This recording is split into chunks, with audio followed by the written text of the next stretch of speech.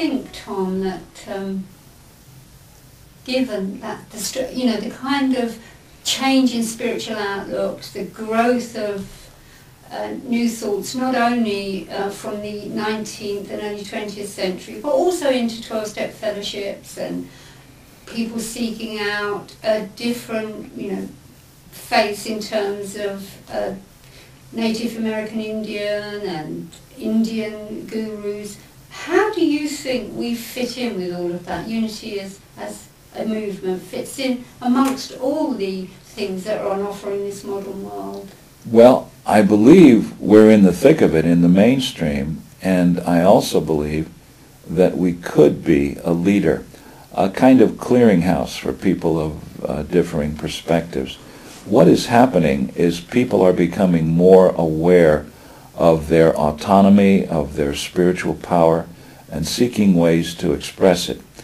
Well, that's what Unity's been trying to offer people for well over 120 years now.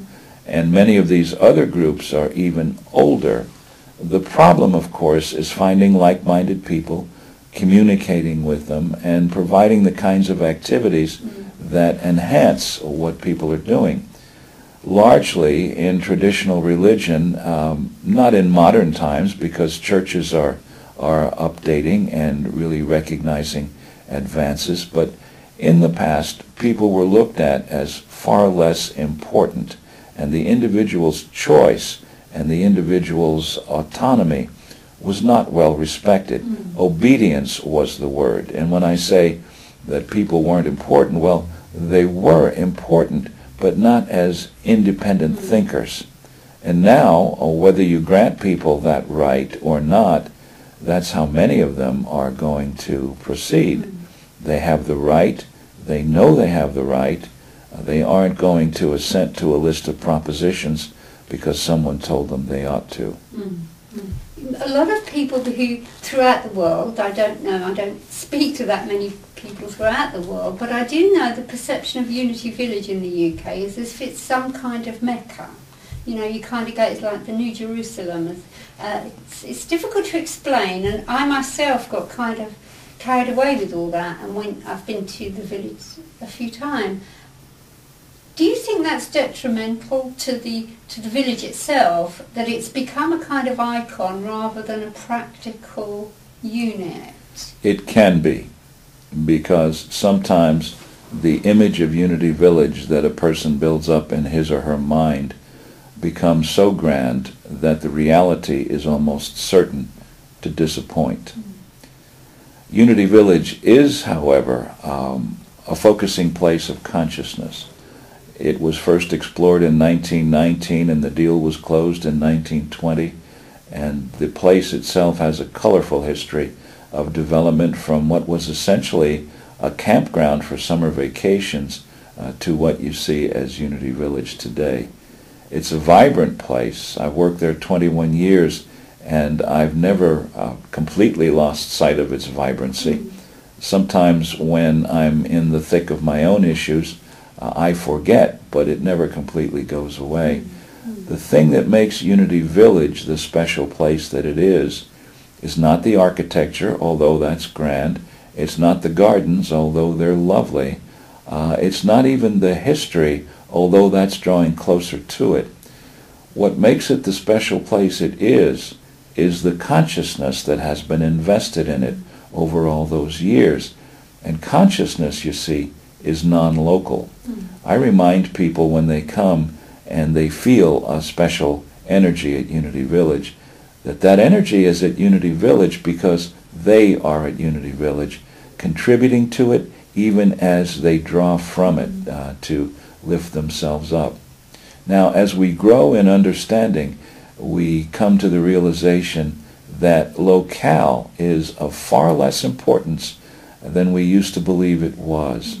Um, now we have not only electronic means of communication, for example, uh, I've participated in conferences in the States while I've been here uh, without having to leave my, my place upstairs in what we lovingly call the flat. But there is a sense, much more of a sense, of global community among many people. Isolationism is beginning to lose its hold. And we are moving toward the awareness that all humankind is much more related than separate. Mm. So Unity Village, yes, we can oversell it. We try not to, Mm-hmm. but some people build up a large, ca- large case for it in their minds. Mm. Uh, is it special? Yes, it's special. And why is it special? Because of the consciousness Mm. that's there. Mm. Okay? With that in mind, Tom, I'd like to move to the UK, Unity in the UK, um, which I think you have a good understanding of. How do you perceive us here in the UK? And I'm talking about not just um, Maidenhead, but also Silent Unity and Daily Word in the UK, the AUL, the National School, the group in Huddersfield and Birmingham. Mhm. How, how do you perceive that? I perceive it as, in many ways, closer to the founder's vision than we see anywhere else. Unity in the United States is a recognized religious organization today, a church, if you will. On the most respected religious surveys, we are showing up now by name, although as a, as a distant minority to other churches. Um, the founder's vision of Unity was that it be uh, a supportive organization for people of all faiths. And that's what it remains in, in theory, although uh, so many in practice are consider themselves members of Unity and Unity is their faith. In the UK, we have something different. I meet many people in the UK who perfectly comfortably say, well, I go to the Roman Catholic Church or the Methodist Church or Church of England in the morning and I come to Unity in the afternoon. Um, the groups meet much more informally, uh, except for this facility in Maidenhead and the two in London. Uh, many of them meet in homes or in public buildings. They don't necessarily meet every week. Uh, they tailor their work to the spiritual needs of the uh, of the people they serve.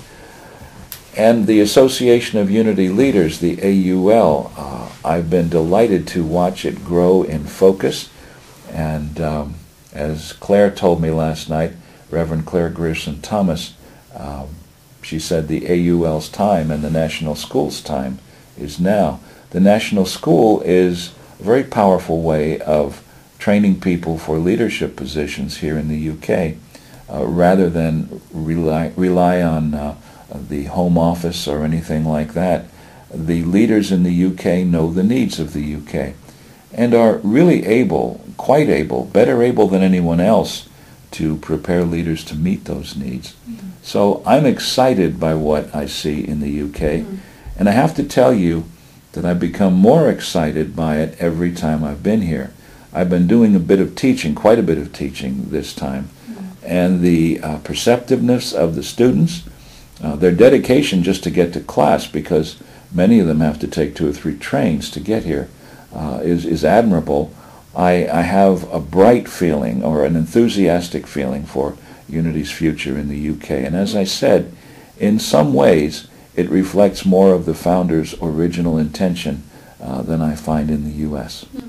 The whole idea of being one is very important, I think, rather than feeling that each of the little things throughout either the UK or the US of A. hmm What I would like to see is a stronger connection throughout the world hmm of the unity movement, and I wonder how you feel that could be achieved. For example, unity in the UK, I, I can't really talk for other countries, but unity in the UK, how do you feel we could connect more with the US of A and they with us?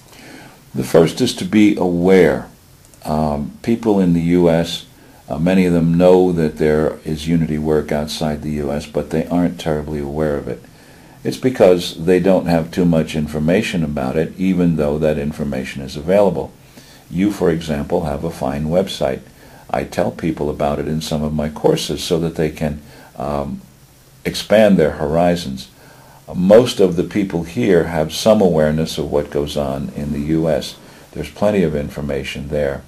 Uh, there's not as much communication as I would like to see. Now, I believe it was two years ago, you and Kimmery were part of that wonderful meeting of Daily Word and Silent Unity Mm, leaders Indeed. that took yeah. place at Unity Village. I was privileged to be uh, invited to one of those uh, gatherings, and I was so sad that thousands more people weren't privy to what was going on there. Mm. That was true worldwide communication Mm. on a very high level, on an important level. Common concerns were shared and different ways of dealing with them. For example, I noticed that the uh, leaders from Mexico and Australia were sharing internet technology because they both had the problem of dealing with people in remote areas Mm. that had no way of getting to meetings physically and so had to be served electronically. When we come together and find effective ways to be aware of and communicate with each other, uh, I think we can discover that we have common concerns that we can work on together and also that people you might not expect have solutions to problems that you're dealing with now. Mm, mm.